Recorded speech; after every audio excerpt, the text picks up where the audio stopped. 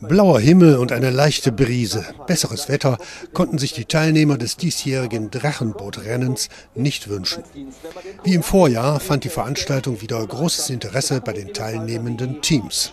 Also wir sind zum vierten Mal in Drachen mit den in Haltern mit den Drachenbooten und wir haben insgesamt 25 Mannschaften am Start.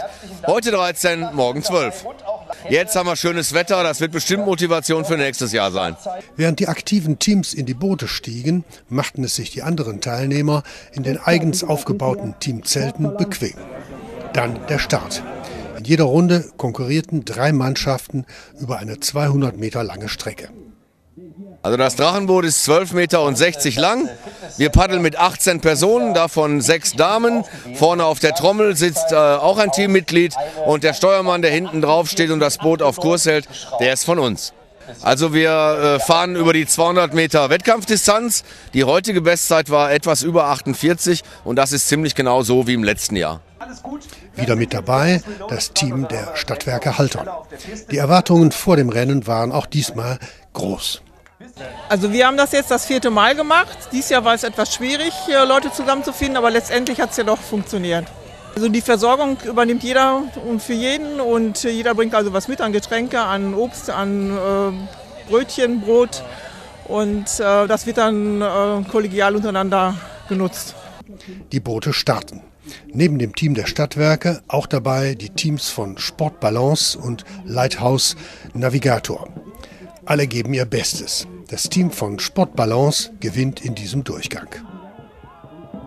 Ebenfalls mit dabei das Team vom Lions Club und die Flasheimer Drachentöter. Ja, wir sind ja in der Qualifikation äh, äh, die Planzeit gefahren, unter einer Minute. Und äh, wir werden das erste äh, Rennen auch unter einer Minute fahren und dann schauen wir mal, wie weit wir kommen. Äh, das ist eine super Veranstaltung, eine ganz, ganz tolle Breitensportveranstaltung.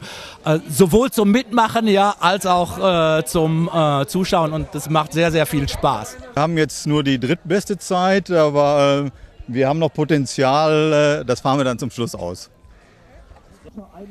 Am Ende des Wettkampftages steht das Ergebnis fest. Die Energiedrachen der Stadtwerke siegen mit 55 Minuten im C-Finale. Im B-Finale siegt das Forum Provital mit 54 Minuten. Sieger des Wettkampftages wurde im A-Finale das Team der Flasheimer Drachentöter mit 50,85 Minuten. Viel erreicht, was wir uns vorgenommen haben und dann gibt es natürlich auch heute Abend Fest. Der Todi Geldmann wartet schon auf uns hier und äh, der gibt dann gleich die erste Runde. Ja, ist eine sehr schöne Veranstaltung, vor allen Dingen, wenn man dann dieses Wetter jetzt auch betrachtet. Ne? Bekommt jeder Teilnehmer? Einen riesig schönen Tag mit ganz viel Spaß, auch mit anderen Leuten und natürlich im eigenen Team. Und es gibt den sogenannten Teampreis. Das ist der Preis für das Team, was hier am lustigsten auftritt, was am meisten Spaß mit den anderen macht. Und die sind als Gast der Veranstaltung im nächsten Jahr eingeladen. Am Sonntag fanden weitere Rennen mit zwölf Teams statt. Auch im nächsten Jahr soll es wieder ein Drachenbootrennen geben. Interessenten können sich ab Herbst wieder beim Veranstalter anmelden.